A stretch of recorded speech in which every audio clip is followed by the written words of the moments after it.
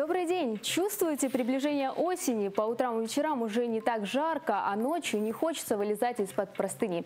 Сентябрь наступит через 4 дня, так что есть еще у вас время расслабиться также подготовиться к новому учебному году. Конечно, если для вас это актуально. А пока вы смотрите в прямом эфире программу «Полдень», меня зовут Инга Песковацкая, вот что вы увидите. Исполнила мечту. Наталья Иванова на велосипеде доехала из Ставрополя в Тюмень. Сегодня она у нас в гостях. «Хочу на работу» Екатерина Сигида решила представить топ самых неприятных профессий. Ставрополье рулит. В полдни продолжается телевикторина ко дню города и края. Все на весы, как измеряли животных в зоопарке Лондона. Где и как устроить праздник для ребенка. В прямом эфире разыграем подарочный сертификат в арт-кафе. Не пропустите. Час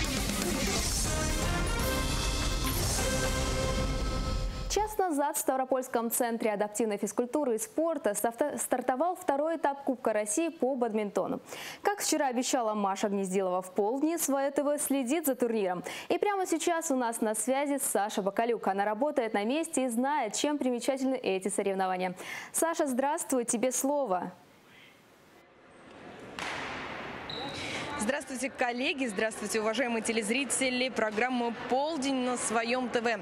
Мы находимся в центре спорти, э, спорта и адаптации э, в городе Ставрополе. Сегодня здесь проходит Кубок России, второй его этап по пара-бадминтону. Должна сказать, что он уже в полном разгаре.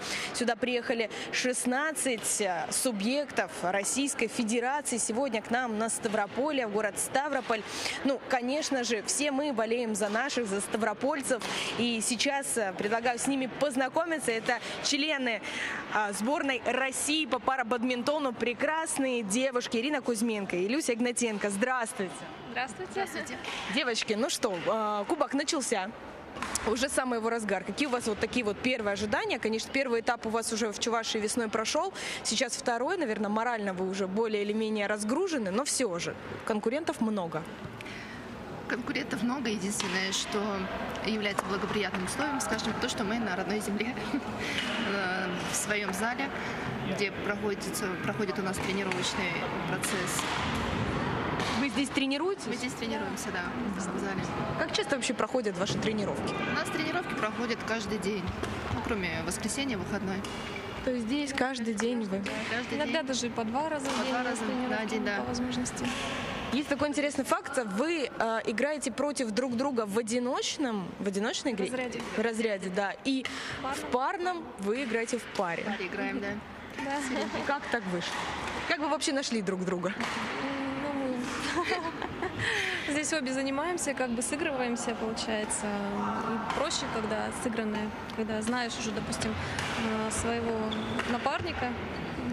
Поэтому, естественно, на, на России мы играли вместе и на мире. Вот не так давно у нас были в Ирландии соревнования, мы там тоже играли вместе, как бы в парном разряде.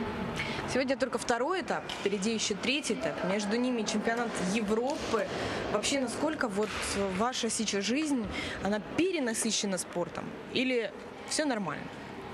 Ну, для меня, наверное, чуть перенасыщена спортом. А для вас, Ирина? Не, ну я как бы знала, на что я иду. Мне это очень нравится. Такой, такой ритм жизни мне очень нравится. Интересно. Перерыв. Какие у вас сегодня, как вы думаете, главные соперники? Все-таки 16 субъектов здесь у нас сегодня в гостях. Кого считаете? Ну, у меня, получается, мы делимся по, на подгруппы. В подгруппе у меня еще две девочки. Ну, более конкурентно способна, считаю, Прокофьева Наталья, она из Санкт-Петербурга. А для вас? Тоже так считаете? А у меня другая группа, как бы пересекаемся. Ну, девочки, а, ну, они уже достаточно давно занимаются. Как бы нельзя недооценивать, как говорится, соперника, но я думаю, что как бы, они мне по плечу. Ну что ж, мы желаем вам удачи, мы за вас болеем всем сердцем и душой. Вам хороших эмоций и, конечно же, победы. Будем ее все вместе дружно ждать. Спасибо. Ну, а мы продолжаем. И, конечно же, сегодня внимание нацелено и на судейский состав а, Кубка России. Я предлагаю сейчас а, поздороваться, познакомиться и пообщаться с Дмитрием Леонидовичем Варфоломеев- Варфоломеевым. Он старший тренер сборной России по парабадминтону и сегодня главный тренер Кубка. Здравствуйте. Здравствуйте. Ну, расскажите нам, пожалуйста, про второй этап. Первый прошел в Чувашии, Да, третий будет в Казани, да. а сегодня Ставрополье. Ставрополье, да. это очень важный старт для нас. Э, по его итогам отбирается команда на чемпионат Европы, который состоится в октябре месяце во Франции. Поэтому сегодня на Ставропольской земле э, играют наши сильнейшие спортсмены, члены основного состава, в том числе призеры последнего чемпионата Европы, который был два года назад. Каково судить вот, вот на такого рода соревнованиях? Ведь много участников, все они разные. Кстати говоря, я заметила, что возраст их абсолютно разный. Здесь есть и молодые люди, есть и уже даже такие, скажем, за 40 лет э, контингент. Вот каково здесь судейство? А, это специфика парабадминтонных соревнований, когда соревнуются а, спортсмены разного возраста. Но это никоим образом не мешает им быть спортсменами а, с высоким уровнем спортивного мастерства. Но я думаю, что в судействе это никак не сказывается, учитывая, что у меня достаточно большой опыт судейства, не только парабадминтонных соревнований, но и соревнований среди здоровых спортсменов. Ну, наверное, это уже ближе к профессиональной деятельности, когда ты понимаешь, когда и что ты должен сделать, чтобы соревнования состоялись. Чего вот вы лично сегодня сами сами ожидаете? Какие у вас ожидания, предположения? Кто займет лидирующие позиции? Э, за кем такой особый э, присмотр? А, ну, особое внимание за ведущими спортсменами, которые борются за попадание в сборную команду России. У них здесь будет много принципиальных игр, по которым тренерский штаб и будет э, делать выводы. А, также мы на каждом соревновании рассчитываем на новых спортсменов.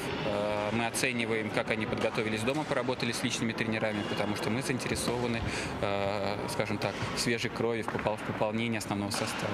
А сколько человек сможет э, войти в сборную России? А, в тот состав, который будет выезжать на чемпионат Европы, войдет а, от 10 до 15 спортсменов. Эта цифра будет уточняться. Угу. Вот по поводу, кстати, молодой крови. Вот вы сказали, сколько, скажем, какова тенденция а, новых спортсменов, кто в большей степени увлекается бадминтоном, парабадминтоном. Мы о нем сегодня говорим. Какой это возрастной тоже контингент? Возрастной контингент – это новых спортсменов подростки и люди среднего возраста. Вот. Но я Э, как старший тренер очень рад, что подростков стало много. Это связано с тем, что мы как вид спорта вошли в Всероссийскую спартакиаду детей-инвалидов, которые ежегодно проводит Министерство спорта Российской Федерации. И через эти соревнования мы э, популяризируем наш вид спорта и как раз э, привлекаем и заинтересовываем ребят в занятиях по бадминтону. Но сейчас, наверное, тоже главный вопрос сегодня уже 18-й год, совсем скоро Олимпиада в Токио. А как сборная России уже начинает готовиться к ней? А, ну, чемпионат Европы это будет первым этапом подготовки, потому что он даст большое количество очков в паралимпийский отбор, который стартует у нас 1 января. А, от его результатов будет зависеть состав спортсменов, которые в течение следующего года будут бороться за паралимпийские лицензии. Кубок России закончится в Казани. Уже тогда будет точно известно, а, какой состав поедет на Олимпиаду? А, нет, состав, который поедет на Олимпиаду, он определится а, в 2020 году, да, когда спортсмены в течение года а, будут набирать очки на международных соревнованиях, и по количеству этих очков получат или не получат персональные приглашения. То есть даже может быть, что туда попадет вот та самая свежая кровь, новенькие, вновь пришедшие спортсмены? Ну, мы будем рады этому факту, если он произойдет. Дмитрий Леонидович, спасибо вам большое, хороших вам сегодня соревнований, хорошего судейства и хорошей игры. Спасибо вам, спасибо. Ну что ж, вот так вот. Центр адаптивного спорта, город Ставрополь, соревнования по парабадминтону. Напомню, это Кубок России, второй его этап. Следующий этап пройдет уже в городе Казань. Ну, а сегодня Ставрополь встречает э, спортсменов из 16 субъектов Российской Федерации. Согласитесь, это почетно. Ставрополя продолжает вновь и вновь лидировать уже во всех практически сферах. Вот добрались и до спорта, хотя мы в нем и не отставали. Коллеги, я передаю вам слово. Программа «Полдень». Спасибо большое, Саша. Ну а мы продолжаем. Главный приз – путевка в кисловодский санаторий Арника на двоих. Ставрополье рулит. Напоминаю правила. Каждый день в эфире программы «Полдень» мы будем задавать вопрос. Ответить на него вы сможете на нашем сайте stv24.tv в разделе викторины «Ставрополье рулит». Первый участник, приславший правильный ответ, становится победителем промежуточного тура. Он получит памятный приз, а главное – автоматически станет участником финальных состязаний в прямом эфире праздничного телемарафона на своем ТВ. Он пройдет 22 сентября. Вчера специалисты Краеведческого музея спрашивали, о каком ставропольском событии в 1897 году писал Коста Хитагуров. Необыкновенно быстрый рост числа всевозможных контор, частая смена вывесок, торговых фирм, неожиданное э, вылетание в трубу солидных предприятий. Речь шла о начале железнодорожного сообщения в городе. И первым, правильно, первой правильно ответила на этот вопрос Ольга Бражникова из Ставрополя. Ольга, мы вас поздравляем. А вот какой вопрос мы приготовили сегодня.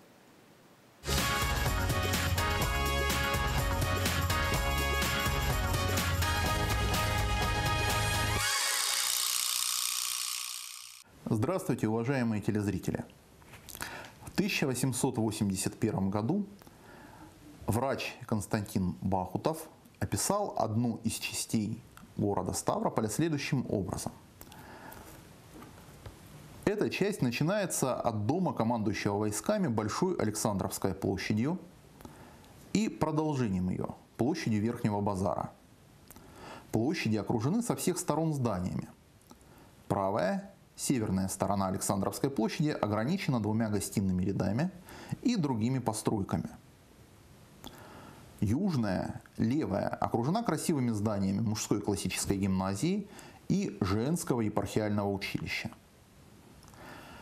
На другой стороне находится юнкерское училище, а на противоположной – духовная семинария. В настоящее время часть этой территории занял красивый зеленый массив, являющийся украшением краевой столицы. Внимание, вопрос. О каком памятнике ландшафтной архитектуры идет речь? Варианты ответа. О театральном сквере, о парке культуры и отдыха «Центральный», о сквере декабристов. Хорошего дня!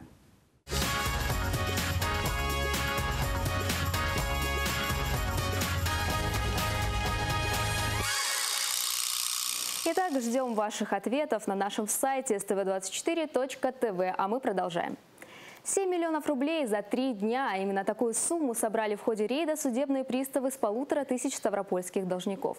Неплательщиков ловили по месту жительства, на работе и за рулем. Организаторов спецоперации интересовали люди, которые имеют долги по линиям разных ведомств. К примеру, налоговые, кредитные, алиментные задолженности или же штрафы за нарушение ПДД. Большая часть должников сразу же погасили долги. Сумма, оплаченная ставропольцами, превысила 7 миллионов рублей. А мы продолжаем говорить о деньгах. На очереди новости экономики. Их уже готов рассказать мой коллега Илья Захаров. Илья, здравствуй. Инга, привет. Всем добрый день. Один мой знакомый говорит, что долг – это не только состояние кошелька, но и души. А ты копишь долги? Если только карточные. Нет, долги стараюсь возвращать вовремя. У меня к тебе встречный вопрос. А когда ты покупаешь себе, выбираешь новый телефон, на какие параметры ты обычно обращаешь внимание? Ну, я же девушка, я на внешний вид в первую очередь обращаю внимание. Вот ты, ты типичный выбор девочки. А между тем эксперты, когда выбирали лучший смартфон 2018 года, обращали внимание в первую очередь на технические характеристики, какие расскажу чуть позже. Давай.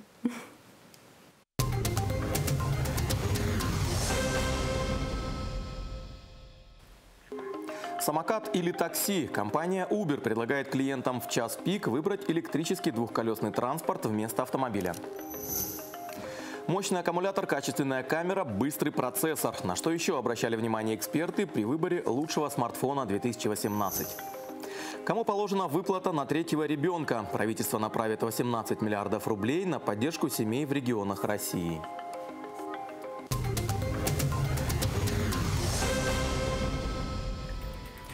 Теперь подробнее. Компания Uber намерена предложить клиентам в рамках собственной долгосрочной стратегии пользоваться электровелосипедами и электросамокатами для коротких поездок. Об этом рассказал гендиректор компании. Он уточнил, что такие виды транспорта негативно влияют на доходы водителей автомобилей компании, но более эффективны для поездок по городу. Во время часа пик очень неэффективно использовать кусок металла весом в тонну, чтобы доставить одного человека на расстояние в несколько кварталов. Возможность пользоваться электровелосипедом велосипедами появилась в Uber в феврале этого года.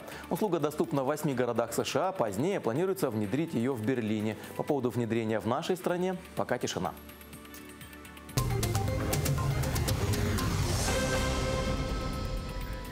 Портал Business Insider опубликовал список лучших смартфонов, выпущенных в этом году.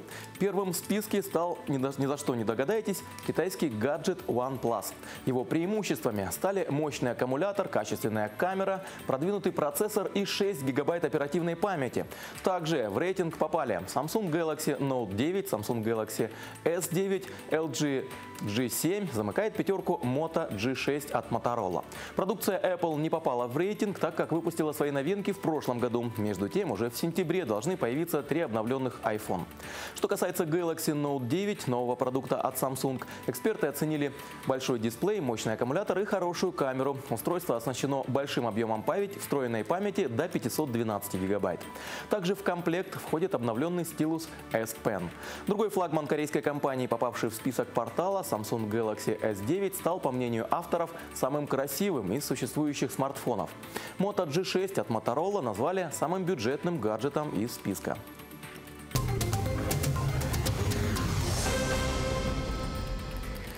Если вам нужно открыть вклад, получить кредит или перевести деньги, не обязательно идти в банк. Можно сделать это дистанционно, пройдя удаленную идентификацию с помощью биометрических данных.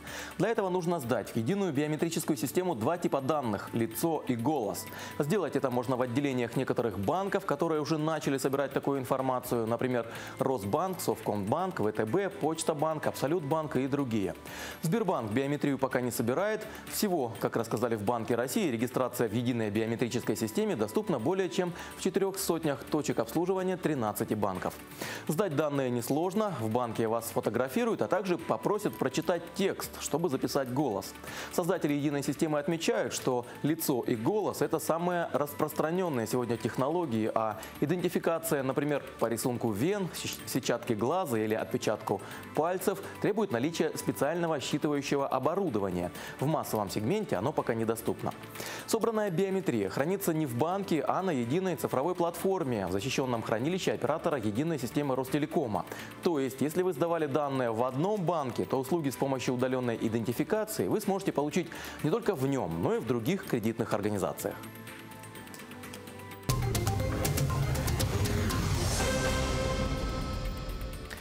Более 18 миллиардов рублей правительство направит в 2019 году в регионы на поддержку семей при рождении третьего и последующих детей. Распоряжением премьер-министра Дмитрия Медведева утвержден перечень субъектов федерации для софинансирования. В него вошли 62 региона и, кстати, Ставропольский край тоже попал в этот список. В 2017 году таких регионов было 50, в текущем 60. Финансовая помощь предусмотрена для ежемесячных денежных выплат нуждающимся в поддержке семьям в регионах с неблагоприятными благоприятной демографической ситуации, где значение суммарного коэффициента рождаемости не превышает 2, а также наблюдается естественная и миграционная убыль населения. По этим критериям в список попали 59 субъектов. Калининградской и Сахалинской областях, а также в Севастополе коэффициент рождаемости превышает установленный, но решено продолжить софинансирование из федерального бюджета до исполнения детям, в связи с рождением которых назначены выплаты трех лет. Общий объем средств в 2019 году превысит 50 миллиардов рублей. Федеральный бюджет предоставит 18 миллиардов 600 миллионов, регионы выделят еще 31,5 миллиард.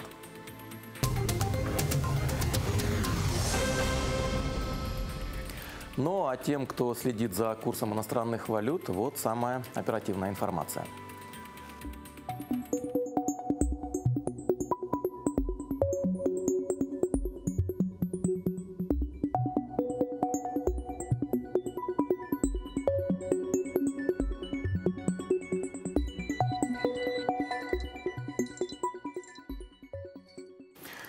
Основные новости экономики. Да, но пока ты еще не ушел, я хочу тебя спросить, а ты вообще э, зависим от гаджетов? Ждешь появления новинок мобильных телефонов? А, я зависим, но за новинками не гонюсь. Я использую хорошо проверенные, уже зарекомендовавшие себя модели. Спасибо тебе большое. Приходи да, снова с новостями экономики. А мы продолжаем. Это полдень на своем ТВ.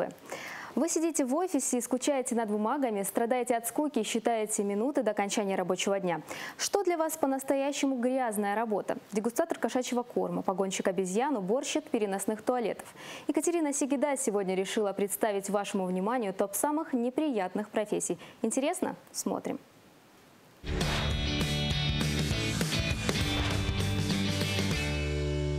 Здравствуйте, уважаемые телезрители! В студии Екатерина Сигида, и я уже готова рассказать вам о новых вакансиях нашего края. Сегодня выпуск посвящен Кочубеевскому и Андроповскому районам. Самые актуальные вакансии внизу экрана. А в конце выпуска будет информация для тех, кто считает свою работу тяжелой и устал от нее. Может, то, что я расскажу, изменит ваше мнение? Поговорим о самых неприятных профессиях. Итак, начнем с Кочубеевского района. Здесь наибольшее количество вакансий на должности инспектора. 33 рабочих места с зарплатой от 18 до 20 тысяч рублей. Второе место разделили фармацевт и провизор. Здесь по 18 вакансий с зарплатой от 21 и 23 тысяч рублей соответственно. А замыкает тройку дорожный рабочий. 10 рабочих мест с зарплатой 12 тысяч рублей. Также требуется швея, кондитер, машинист автогрейдера, инженер и другие. Самую большую зарплату на данный момент предлагают на должности механизатора комплексной бригады на погрузочно-разгрузочных работах от 15,5 до 30 тысяч рублей и только одна вакансия. Центр занятости населения Кочубеевского района, куда можно обратиться для устройства на работу, находится по адресу село Кочубеевская, улица Скрипникова, 29 и телефон 20155, код 86550.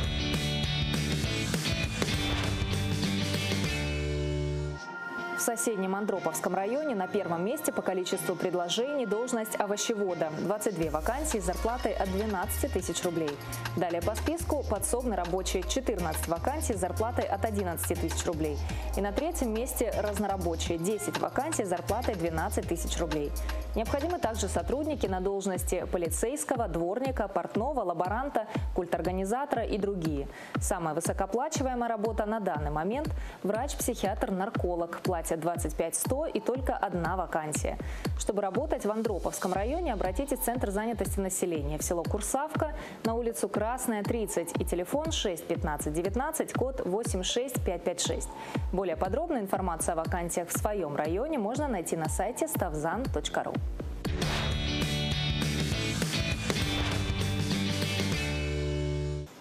Все профессии нужны, все профессии важны. Но есть и такие, за которые может взяться только самый отчаянный и стойкий человек. И вот некоторые из них. Контролер качества кошачьей еды. Эта профессия, конечно, не самая плохая, но и приятного в ней тоже мало.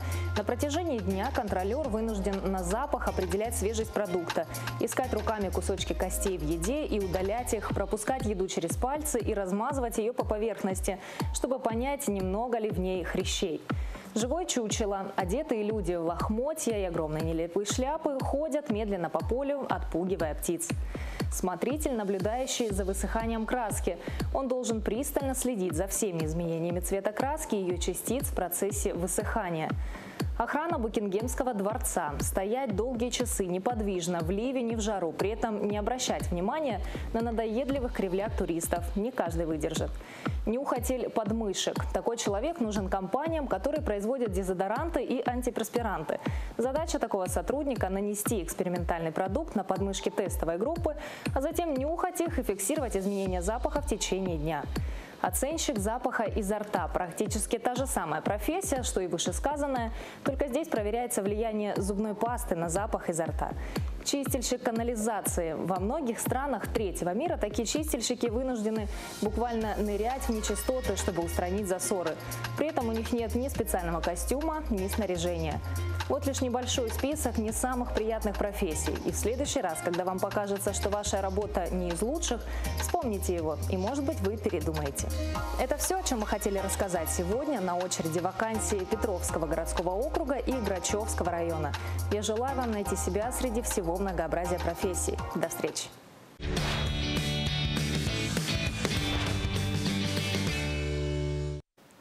Спасибо большое, Екатерина. Я поняла, что у меня просто отличная работа. Мы продолжаем. Наша землячка, путешественница Наталья Иванова, исполнила свою мечту. На велосипеде доехала из Ставрополя в Тюмень. В дороге ставропольчанка провела больше 20 дней. В, в путевой карте Саратов, Сызраль, Ульяновск, Екатеринбург, Пермь, Пенза и Казань.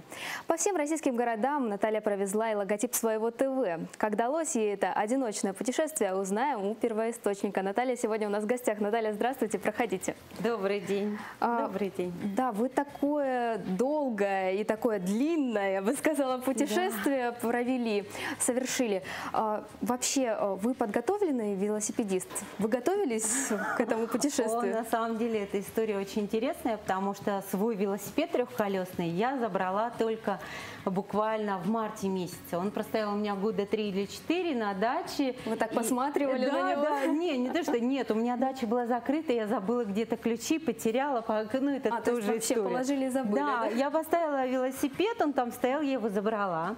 Еду, а это там, где у нас Кравцовое озеро. Еду, поднимаюсь и думаю, какой классный велосипед для папы. Думаю, надо бы ему такой купить. А потом понимаю, что зачем покупать, надо приехать.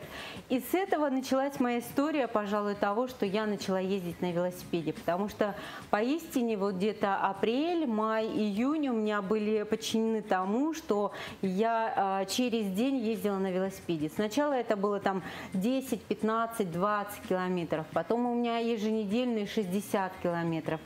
Конечно, профессионалы, велосипедисты говорили такое, это невозможно. К этому надо готовиться очень долго, это несколько лет подготовки. Но опять-таки, в связи с тем, что это уже не первый год и не первое мое такое авантюрное э, затея, я решила, как получится. То есть получится, я проеду так, как оно получится. Но, честно говоря, вот даже когда ну, с вами общалась и у меня каких-то сомнений не было. У меня было ощущение, знаете, такого радости, счастья и такого азарта. Адреналина, да? Адреналина, да, потому что, ну, это сейчас, проехав, я понимаю, что это за расстояние, я понимаю, что это за препятствие и так далее. То есть, как, как было тяжело или э, как вообще фантастично случаются такие вещи, как тебя подбирает попутная электричка. И это тоже есть. То есть, ну, на самом деле, это просто фантастика. Ну так смотришь на вас, слушаешь и понимаешь, что можно и горы свернуть, лишь бы было желание, самое главное. Да, безусловно, желание, оно однозначно очень важно, потому что когда мне, ну вот и в прошлый раз спрашивали, а что же дальше? А вы знаете, я теперь с большой уверенностью хочу сказать, что я хочу поучаствовать, например, в ледовом шторме, это на Байкале, где за три дня преодолевают, кажется, 280 километров. Вот, На по велосипеде по льду? Да, Да? по льду на Серьезно? велосипеде. Да, и я хочу к этому подготовиться. Я думаю, что у меня будет поддержка. А как будете готовиться? У нас тут льда такого А, тут, знаете, нет. э, вещи, ну, пожалуй, не во льде э, в большей степени, а опять-таки в подготовке физической. На самом деле я человек достаточно северный, я с Урала, я родилась на Урале, мне что лыжи, что все остальное, то есть зимние виды спорта. Да, ну да, для меня это привычно. Как вы при этом себя чувствуете? Ой, а, если говорить о чувствую здесь и сейчас, то это всегда по-разному, потому что, ну, кто следил за моим блогом, за это, там у меня были фотографии, где у меня был сахар и 1,7, и 1,5, и э, кто болеет диабетом, они знают, насколько это тяжеловато. Вот. Э, Также у меня был сахар и 20, и такое у меня тоже было в путешествии. То есть и диабет не проблема. Ди- Ну, э, нет, э, если захотеть проблему, ее можно и Реш- чиха придумать. Вот. А то, что э, диабет, это не то, что не проблема. Диабет – это особенность. И с этой особенностью надо просто понимать, как ты с ней можешь жить. Вот и все. Как ты можешь преодолевать то, другое, третье. То есть вот это.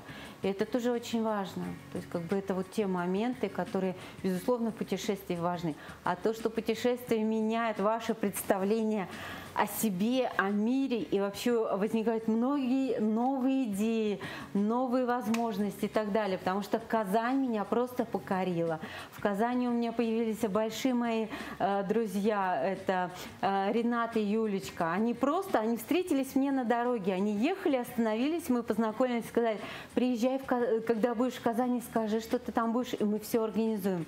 И это на самом деле было так. То есть вы ехали, и даже, наверное, самое главное не то, что вы видели, да, не пейзажи, не достопримечательности, а именно люди, которых вы встретили. на Да, безусловно, люди не, ну пейзажи их тоже невозможно недооценить, потому что а, я когда ехала от Тюмени до Папы, это 120 километров, так получилось, что первый мой путь это был на велосипеде. Я видела практически каждое дерево, каждое, э, каждую дорогу, ответвление, тропинки, еще что-то, какие-то речки, озера, еще что-то. И потом я ехала на автобусе, на автобусе, на машине до Тюмени. Поверьте, когда едешь на машине, на, на автобусе, многое чего не видишь. Не видишь Но тут то, же ты что- еще чувствуешь много Да, чего, когда ты конечно, едешь да, на велосипеде. да, да, То есть вы меняли виды транспорта? А, не ну, все время на велосипеде Не вы все проехали? время, потому что это заняло гораздо бы больше э, времени. Я запланировала, что я буду 30 дней в пути, я была 23 дня в пути по одной простой причине, что мне просто дар- дарили эти дни. Мне подарили дни там Сергей Иванович с Александром э, Борисовичем, который, э, с Александром Дмитриевичем, которые меня подвозили на э, машине, и мы проехали практически 900 километров. Потом э, Решат, который просто фантастично. Это вот одна из тех историй, что этого не может быть. Но это так. Он стоял на обочине, показывал мне сверни, я к нему подъехала, он говорит, ты со Ставрополя? Я говорю, да, я со Ставрополя. Это около Казани А у было. вас номер был Не, а, впереди? ну, не, а у меня же сзади написано Ставрополь, Тюмень. Он говорит, вообще, говорит, а я тоже со Ставропольского края. Я говорю, здорово. Тебе помочь? Я говорю, ну а чем мне помочь? Вот такие земляки Да. отзывчивые. Да, и он сказал, я говорю, вы меня можете подвести? Он говорит, да, могу. Я, да ну, правда.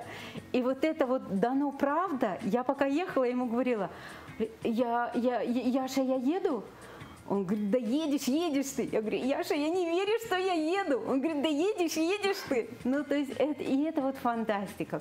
И вот эти вот необычные вещи, они случались а, наверное, на всем пути, потому что меня а, в Ульяновске а, пригласил себе человек, который видел меня буквально там 10 минут.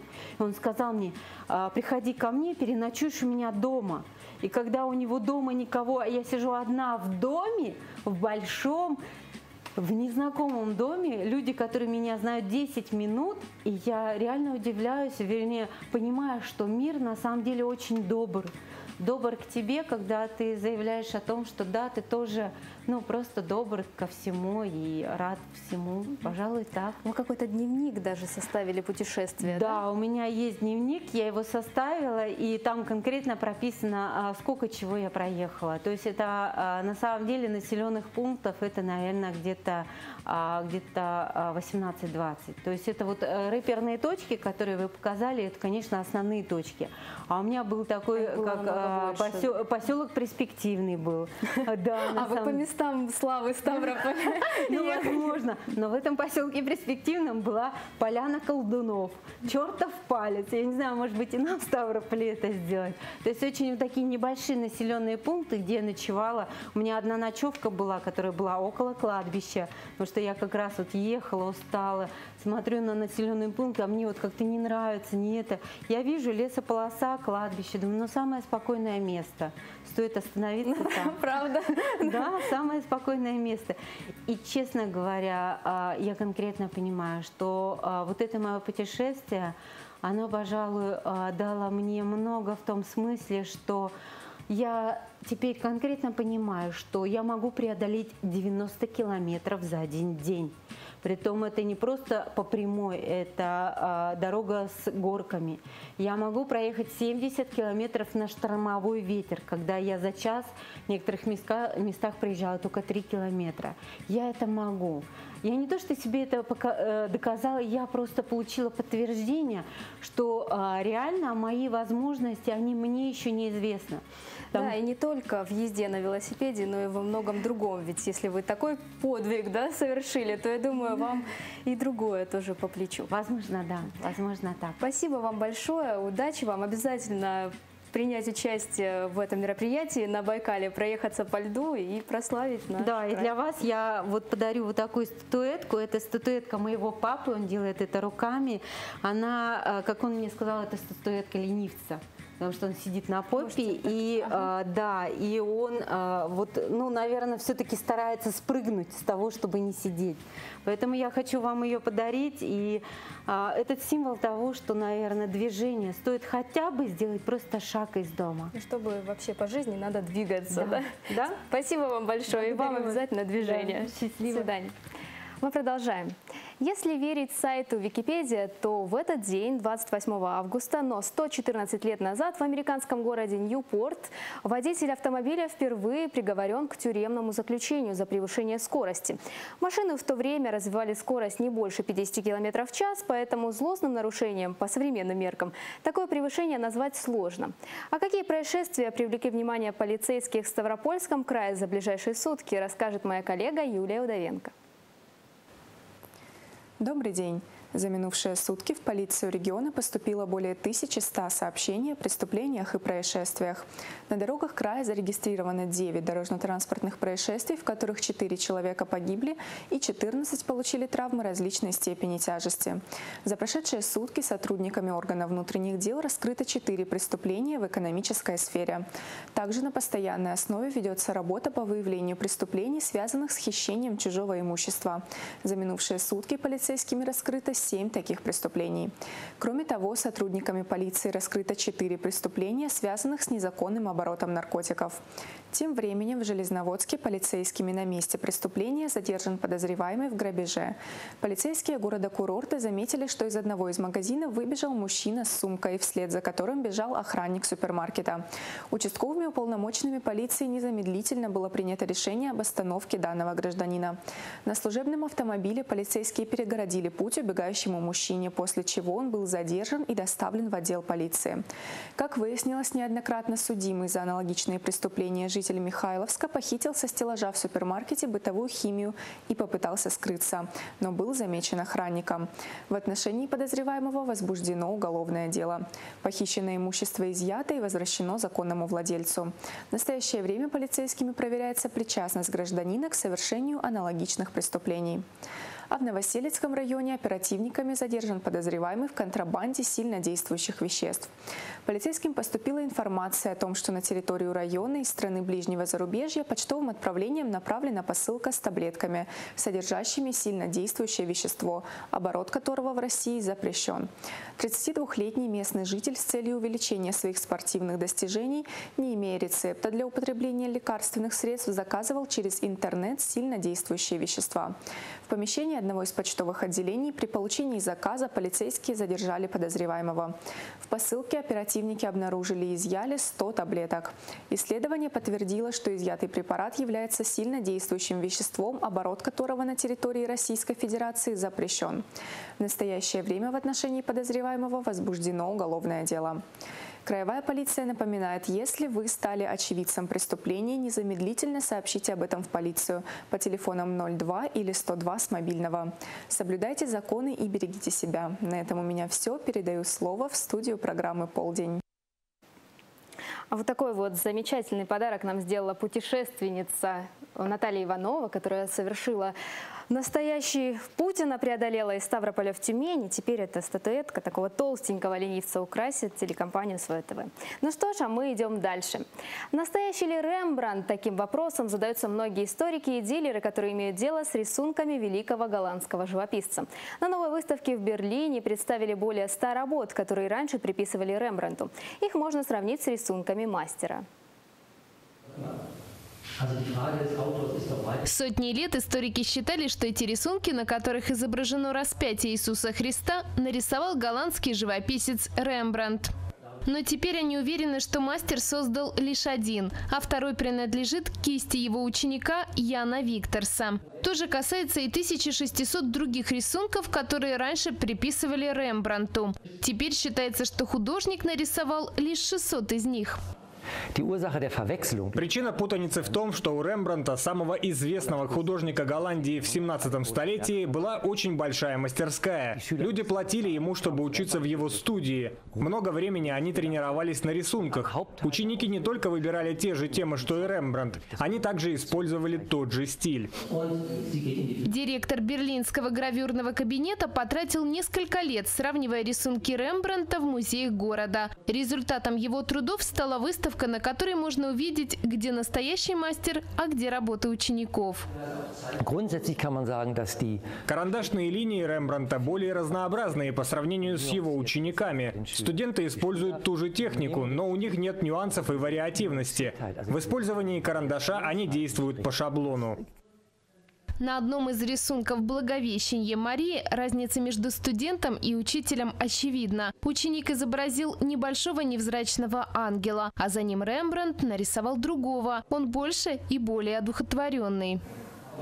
Для дилеров принадлежность рисунков имеет огромное значение. Если за работу ученика Рембранта дают около 180 тысяч евро, то за рисунок самого мастера до 2 миллионов 800 тысяч.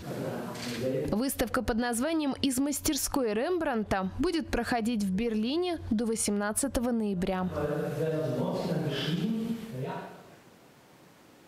Сегодня у православных праздник Успения Пресвятой Богородицы. Он отмечается в Русской Православной Церкви в память о смерти Божьей Матери. К празднику христиан ведет двухнедельный Успенский пост, по строгости сравнимый с Великим постом. Чем еще знаменателен день 28 августа в истории, расскажем прямо сейчас. Thank 28 августа 1883 года в Британской империи запрещено рабство. Акт об отмене рабства официально освободил 800 тысяч африканцев, на тот момент являвшихся законной собственностью англичан.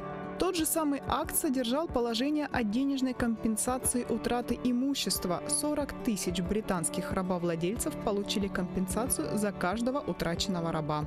Государство выделило на это по сегодняшним меркам до 17 миллиардов фунтов стерлингов. Человеком, получившим из казны больше всего денег, был Джон Гладстон, отец премьер-министра эпохи правления королевы Виктории. Ему за две с половиной тысячи рабов, трудившихся на девяти его плантациях, заплатили по нынешним меркам почти 80 миллионов фунтов стерлингов.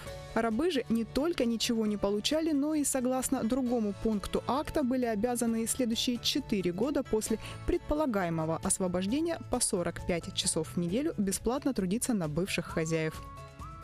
28 августа 1937 года основана автомобильная компания Toyota. Отцом-основателем стал Киичиро Тойода. Первые автомобили были выпущены годом ранее, но тогда автомобильное производство было лишь подразделением гигантской корпорации Toyota по производству ткацкого оборудования.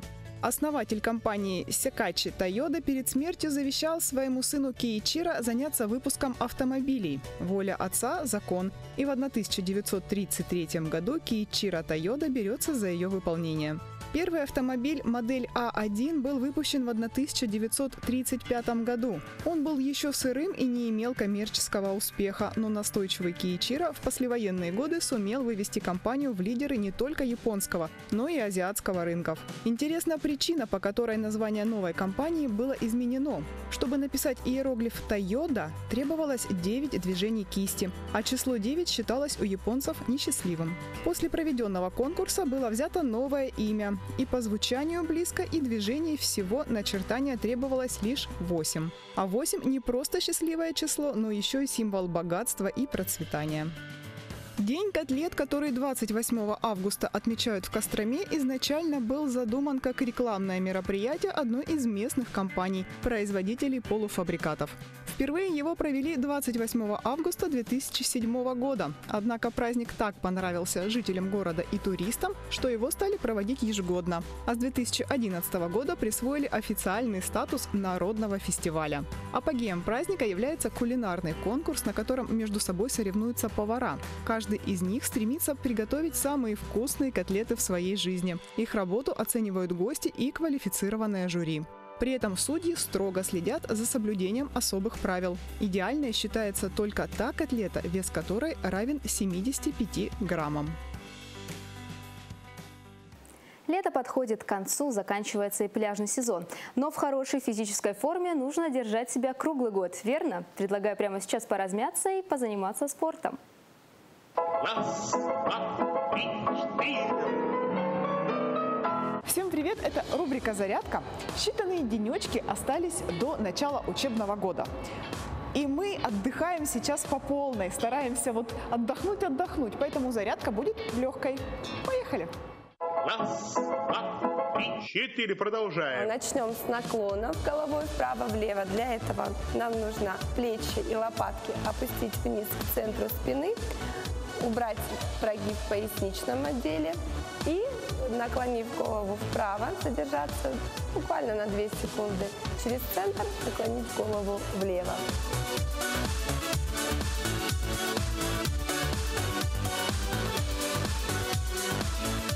Плечи, лопатки все время к центру спины опускаем, наклоняем голову вправо, чередуем, влево обязательно через центр. Мышцами шеи нужно быть крайне осторожны, осторожными, потому что они очень уязвимы и поддаются растяжению только так.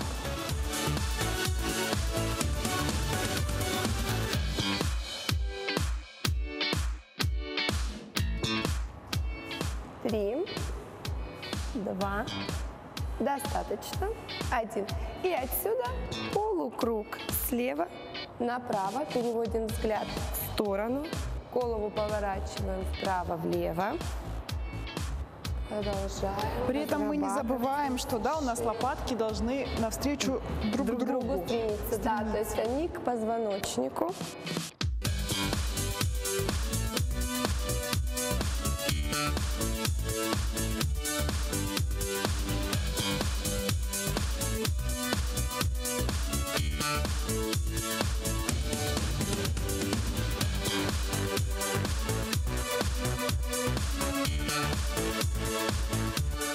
Еще четыре.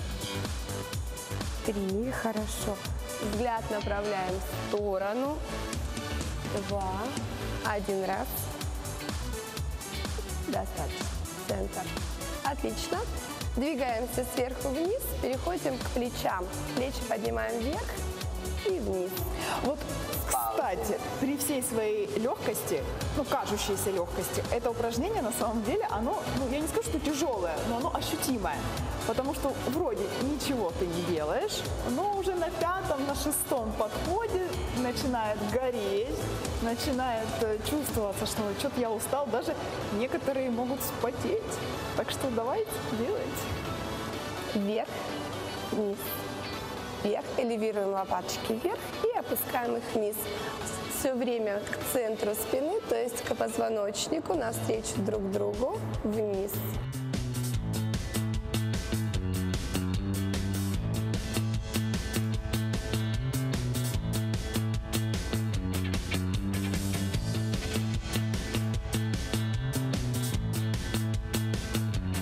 Еще два. Отсюда круговые движения вперед, плечи. Лопатки назад, округляем спинку. 10 повторений вперед. Еще 4.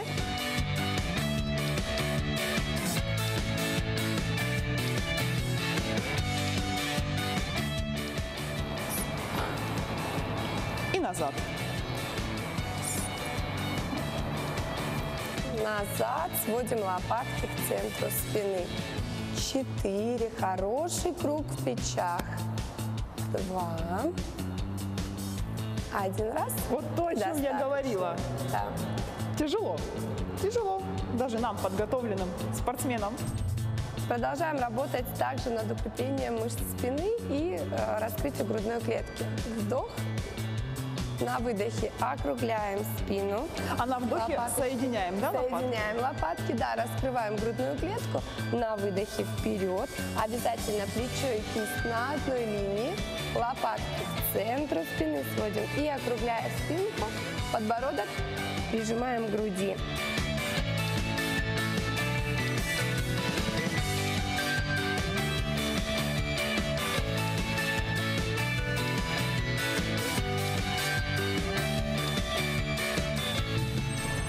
Сегодня это вся зарядка. Увидимся с вами завтра, Яночка. И с тобой тоже мы завтра увидимся. Так что не расслабляйся. Пока-пока. Пока-пока. Раз, два, три, четыре. Ходьбу закончится. Это снова полдень. Спасибо, что остались с нами. Вот что вас ждет далее в нашей программе. Все на весы, как измеряли животных в зоопарке Лондона. Где и как устроить праздник для ребенка, в прямом эфире разыграем подарочный сертификат в арт-кафе. Семейные киновечера, когда и где стартуют показы, а также афиша на сегодняшний день. А пока реклама.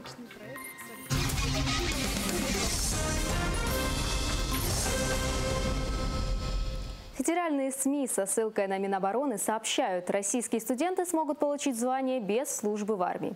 У молодых людей, которые получают образование в институтах без военных кафедр, появится возможность поступить в учебные военные центры при других вузах. Важный момент. В армию таких выпускников призывать не будут, но при желании они смогут попасть туда. Для этого нужно будет по своей инициативе подписать контракт. Такая программа рассчитана на будущих сержантов или рядовых запаса, но не на офицеров. Эксперимент стартует в Сибири и в дальнейшем его планируют расширить на всю страну, в том числе и на Ставрополе. О других новостях региона нам расскажет мой коллега Сергей Надеин. Сергей, здравствуй. Как ты думаешь, в нашем регионе такие военные учебные центры будут пользоваться спросом? У нас и обычная армия пользуется спросом, насколько я знаю, поэтому Ставрополье и Ростовская область всегда в лидерах по призыву, поэтому я думаю, здесь можно ничего не менять, так все нормально. Сейчас к новостям.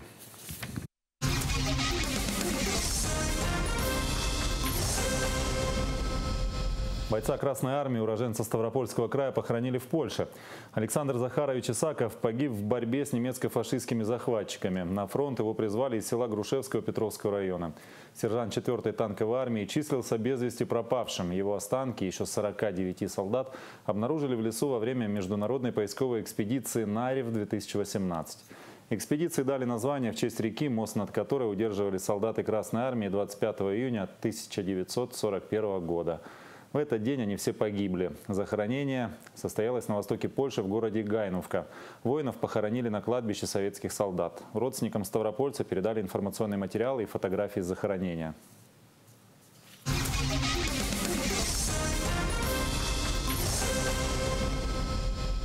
Четыре часа тушили огонь в Петровском городском округе. Пожар охватил сухую траву на площади в 3000 квадратных метров между селом Рогатая Балка и поселком Пшеничным.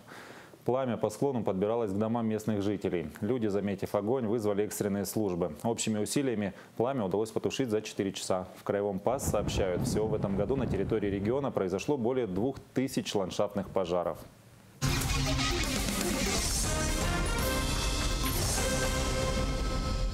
В Кисловодске целый новый микрорайон в ближайшее время должен измениться до неузнаваемости. На улице Катыхина появятся ливневки, уличное освещение, откроются магазины, начнут ходить автобусы.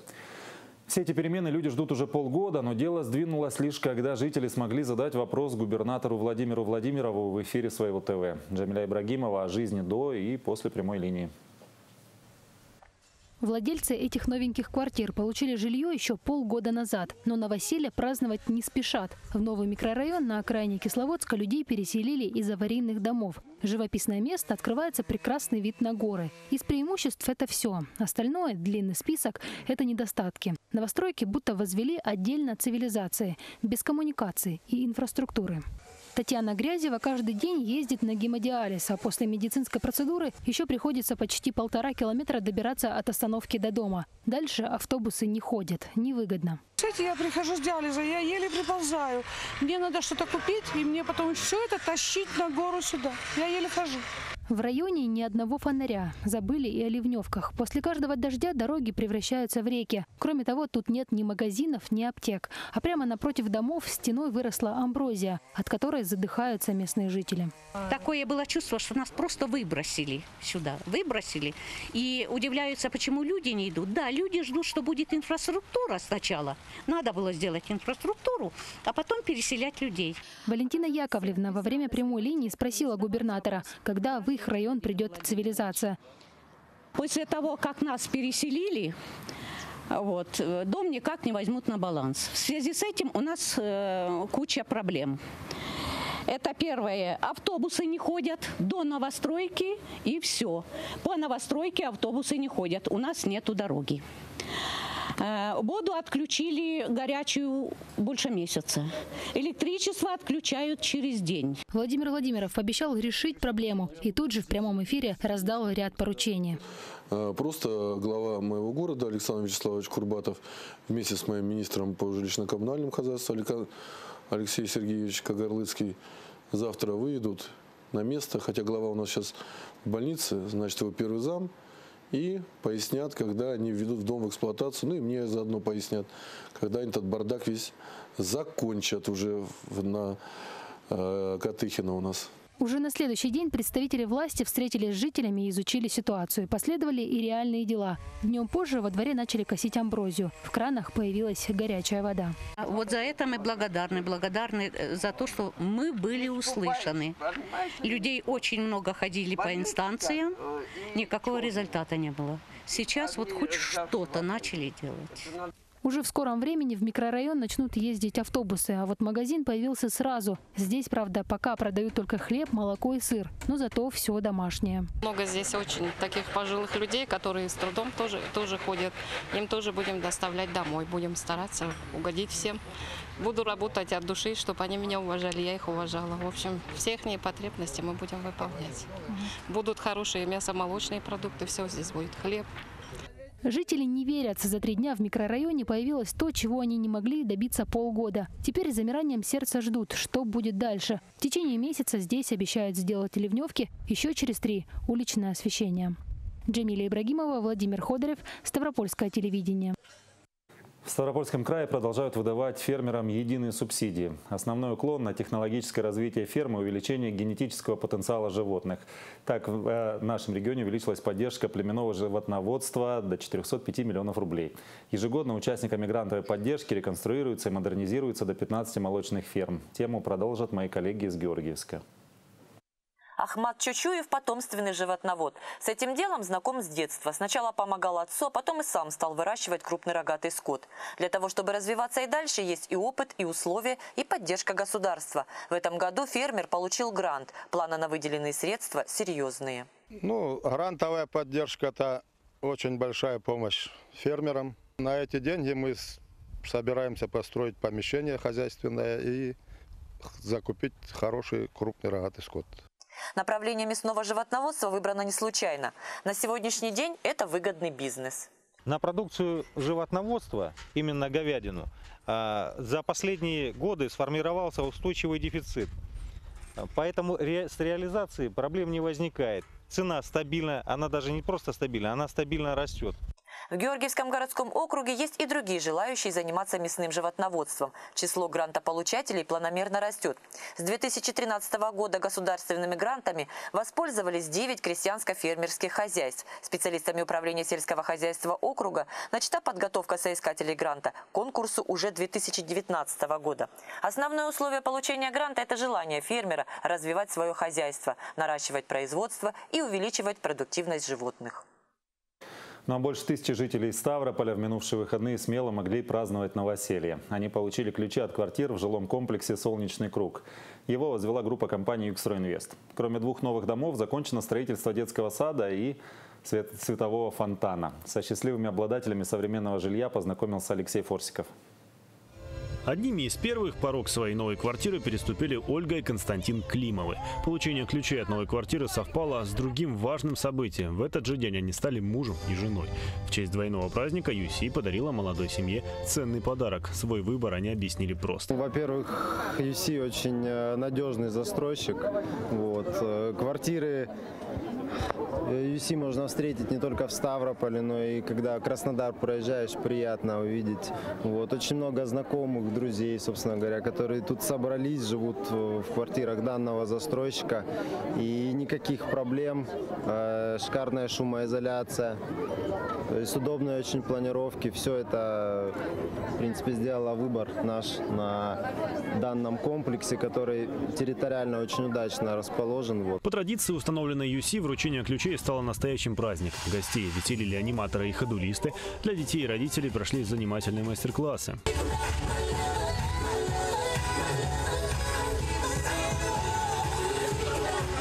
Счастье и радость людей – лучшая оценка деятельности строительной компании, которая уже много лет символизирует надежность и комфорт. Ведь Югстройинвест в первую очередь работает для людей. В Солнечном круге в ближайшее время откроется детский сад на 160 мест. Начато строительство новой школы. Планируется, что она откроет свои двери уже в 2019 году. В июле прошлого года мы приступили к масштабному инвестиционному проекту «Солнечный круг». И вот уже сегодня мы сдаем два жилых дома. По доброй традиции, вместе с домами в эксплуатацию, мы сдаем детский садик на 160 мест, который уже скоро будет принимать своих малышей. Начато строительство школы на 1550 мест. Для первых новоселов уже создана прекрасная благоустроенная аллея. Ее украшением по праву является световой фонтан. Все работы мы выполнили с душой на совесть. Компания «Югстройинвест» и дальше будет строить микрорайонов, в которых хочется жить и растить детей. Для жильцов Солнечного круга Югстройинвест создает полностью благоустроенную среду. Такова политика, установленная генеральным директором компании Юрием Ивановым. Пешеходные тротуары, просторные дворы с игровыми площадками, удобные парковки, деревья с пышной зеленой кроной – все располагает к уюту домашнего очага. Изюминкой благоустройства аллеи станет световой фонтан. Вода и игра света помогут отвлечься от повседневных забот и поднять настроение. Сегодня в жилом комплексе «Солнечный круг» большой праздник. Мы вручаем ключи от первых двух домов. Наших новоселов ждет прекрасное благоустройство и высокое качество квартир. Группа компаний «Югстрой» «Стройинвест» в своих лучших традициях заботится о своих жителях. Для удобства наших клиентов действуют гибкие системы скидок и различные формы оплаты. Приобретайте квартиры в «Солнечном круге» по выгодным ценам. При строительстве «Солнечного круга» в целом и конкретно каждого дома «Югстройинвест» использует весь свой потенциал и многолетний опыт. Уже 15 лет команда профессионалов строит дома, создает всю необходимую социальную и спортивную инфраструктуру. Компания входит в число крупнейших застройщиков страны, занимая четвертое место место во всероссийском рейтинге. UC применяет новые передовые технологии, чтобы жилые дома, школы и детские сады были добротными, комфортными, современными, настоящим украшением города. Вадим Москаленко, Алексей Форсиков и Александр Бородин. Ставропольское телевидение. Это все новости, о которых успеваем вам рассказать. Передаю слово студии программы «Полдень Инга». Спасибо большое, Сергей. А мы продолжаем. Трудоемкая, иногда забавная, такая необходимая процедура. В лондонском зоопарке провели очередное измерение и взвешивание животных.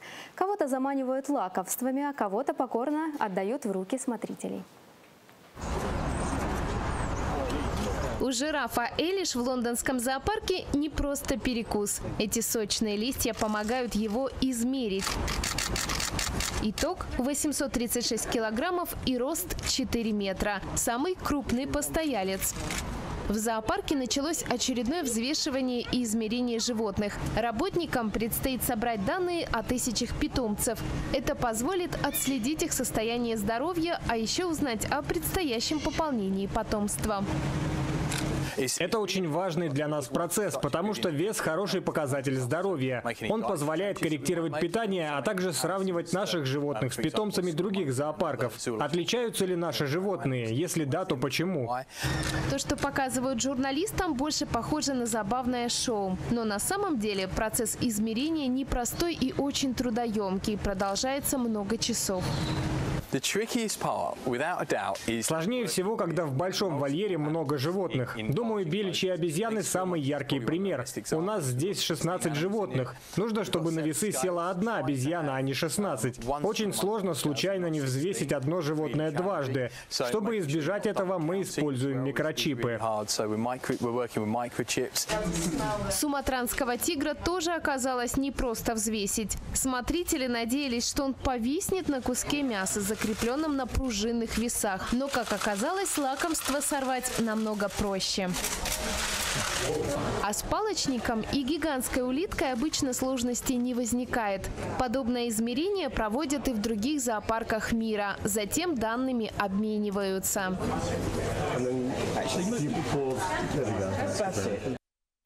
Совсем скоро на своем ТВ праздник для детей. Подробности пока в секрете. Скажу только, что это будет конкурс с приятными ценными подарками. Один из них – это сертификат на круглую сумму для организации детского праздника в кафе «Бублик». Сегодня мы устроим репетицию, разыграем приз, точно такой же сертификат, но только на меньшую сумму. У меня в гостях Ирина Владимировна Киселева, соучредитель, директор семейного арт-кафе «Бублик». Ни одно поколение людей задавалось вопросом, куда девается дырка от бублика, который съеден – Есть несколько версий. Это научная, никуда ее просто не видно. Фантастическая уходит в другое измерение. И пессимистическая уходит другому бублику. Но вопрос у нас сегодня совершенно другой. Какой шуточный праздник отмечается 31 мая? Итак, внимание, варианты ответа. День бублика ежик, день дырок от бублика и день круглых печенек. Мы ждем ваших ответов прямо сейчас по телефону 8 800 707 02 26. Вам просто нужно первыми дозвониться и ответить на вопрос. Тогда вы получите сертификат на проведение детского праздника на 3000 рублей. А пока вы нам звоните, пытаетесь дозвониться, мы как раз и поговорим. Здравствуйте, Ирина. Здравствуйте. Ну расскажите, пожалуйста, э, где находится ваше кафе и почему оно называется «Бублик»? А, Наше кафе расположено торгово-развлекательный центр «Москва» на улице Тухачевского, 14, дробь 2, на четвертом этаже.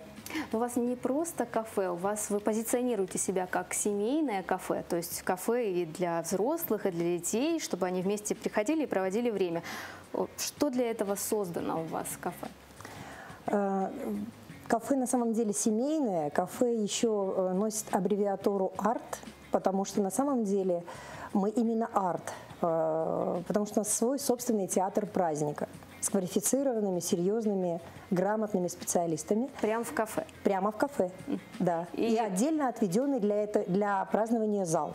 То есть мы в этом зале проводим все праздники. Э, Ни одно кафе себе пока и ни один ресторан позволить не может. То есть, ну, на данном случае, в данном случае вот так. А почему семейное? Потому что у нас нет возраста, для которого работает наше кафе. То есть э, у нас празднуют и годовасие, то есть первый год жизни, и празднуется э, м, 80 лет, вот празднуется в эту пятницу. То есть э, кафе сделано так, как будто это большой, уютный, добрый дом. Ну, на четвертом этаже торгового В центра. который каждый может прийти и Да, очень хорошо да, провести да, время. Да, да, да. Но пока у нас есть звонок, мне подсказывают. Здравствуйте. Здравствуйте. Здравствуйте. Представьтесь, пожалуйста, как вас зовут, откуда вы нам звоните? Меня зовут Екатерина, я звоню вам из Ставрополя. Здравствуйте, Екатерина. Я вам сейчас э, назову вопросы озвучу варианты ответов. Итак, какой же праздник отмечают 31 мая? Это день бублика-ежик, день дырок от бублика или день круглых печенек? Екатерина? А, нужно... Да-да-да. А Второй вариант ответа – день дырок от бублика. Ну все верно, все верно. Вот такой, э, правильно, вот такой сертификат отправляется ваш к Екатерине из Ставрополя. И вы сможете провести вечер или в любое удобное вам время в арт-кафе «Бублик». Да. Да, все верно? Спасибо вам большое. Мы обязательно вам передадим. ждем. Вот. А мы с вами продолжим, Ирин. Э, Ну, рассказывайте, вы про театр нам рассказывали. А Что он из себя представляет? То есть люди приходят и с ними проводят время специалисты, да? Правильно Да, руководит театром очень э, знаменитый человек нашей России, матушки, да, Ольга Александровна Кукшина. Это очень э, серьезный режиссер. Мы, э, мягко говоря, пригласили ее из Сибири, из города Омска. Она к нам приехала со своей семьей.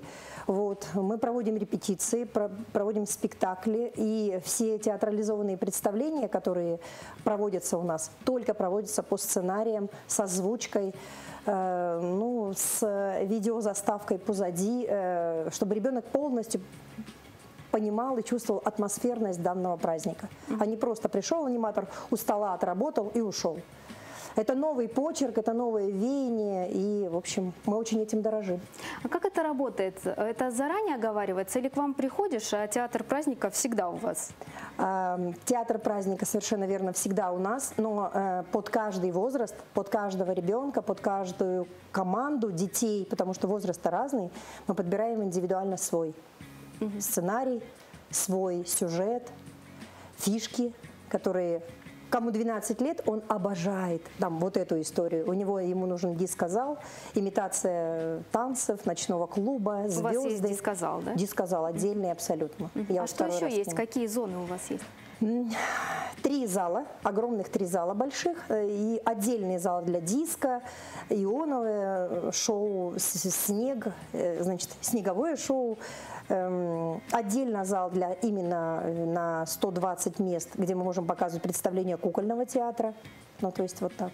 И отдельный зал с огромной ареной по центру, где может показать, э, показать свои возможности все эм, члены семьи, которые пришли сегодня, даже дедушки и бабушки, там они забывают, куда пришли и начинают показывать. Забывают, что они дедушки да, и бабушки, там очень, детей превращаются. Очень все интересно и красиво, да. Если, допустим, у меня день рождения или какой-то праздник, у ребенка праздник, ну, допустим, 7 сентября, когда мне нужно прийти к вам и начать это организовывать? Или можно вот прям, прям прийти 6 и все будет готово? Или как? Это очень будет трудно 6 потому что у нас большой хороший спрос, э, потому что мы серьезно, заблаговременно готовимся к этому. Эм, лучше бы за месяц, потому что уже сейчас очень, э, очень много занято дат, да? особенно на юбилеи. Это вообще просто, ну, потому что юбилей, под каждый взрослый юбилей, сейчас пошла мода в нашем городе, я не знаю, для тех, кто не знает, а, наверное, даже знают, 35 и 5, 50 и 5. Вот люди любят, это новый формат, новый формат праздника, и мы это совмещаем. Вот опять же, пишется специальный под вас сценарий. Не так, что кто там следующий, давайте. Нет, очень серьезно. Фотографии видны. Вы, когда вы родились, когда вам, вы когда на ножки встали только, вот вы стоите, вот у вас соска в руках ваша первая. Это вот. все вам покажут Это все, да, мы все да? собираем этот фотоматериал у гостей и создаем такой шедевр. На, на самом деле, я, я люблю это называть шедевром, потому что это ваш, это, ну, это ваша семья а там особый мир создается, понимаете, вот, а именно праздника. Не просто там вот сидим мы и смотрим фотографии три часа, нет. Нужная, в нужный момент появляется нужная фотография, в нужный момент появляется нужная фраза. Ну, то есть вы большую работу проделываете. Да, это большое, поэтому месяц нам нужен.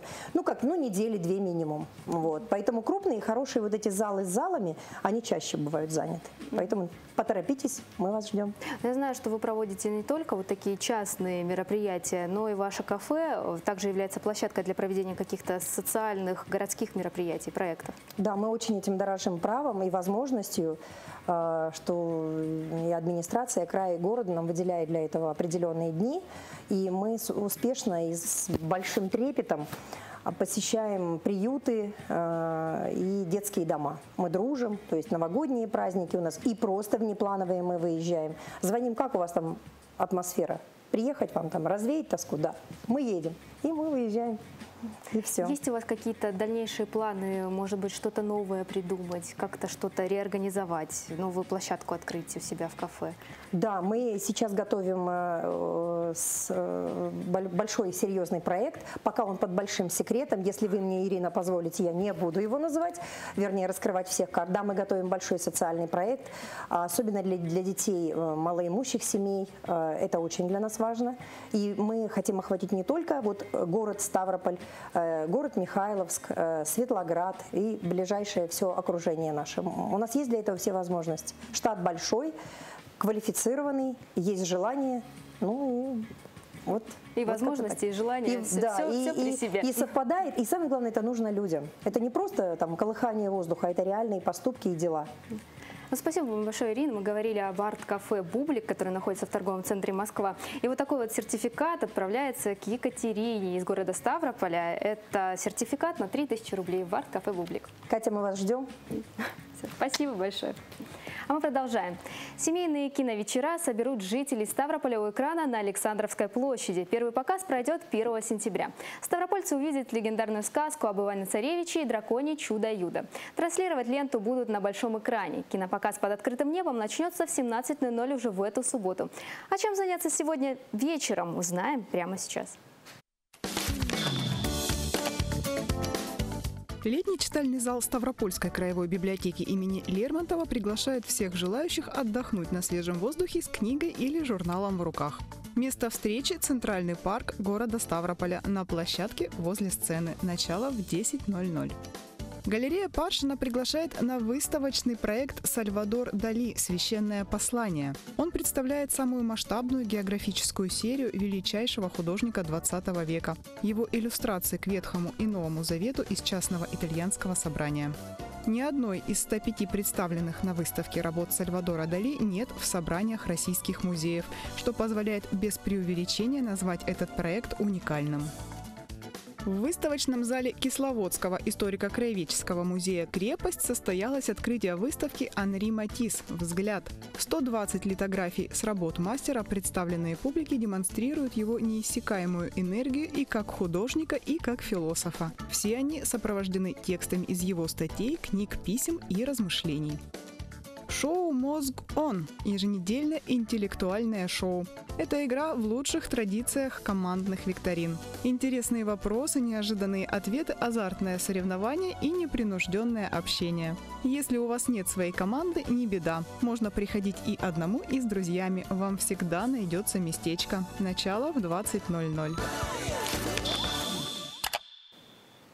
Хорошо провести время можно не только на культурных мероприятиях, но и у себя дома. Главное, чтобы компанию вам составила свое ТВ. Вот что мы приготовили для вас сегодня вечером.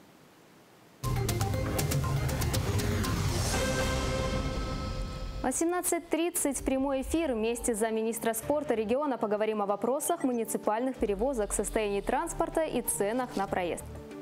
19.30 – все самые последние главные новости Ставропольского края в информационной программе «День». И в 21.05 русская мелодрама «Травести» фильм о судьбе молодого и талантливого выпускника театральной академии, который вдруг уезжает работать в глубинку. Вот так быстро подошел к концу наш полдень. Прямо как лето. Наслаждайтесь последними жаркими деньками. Увидимся!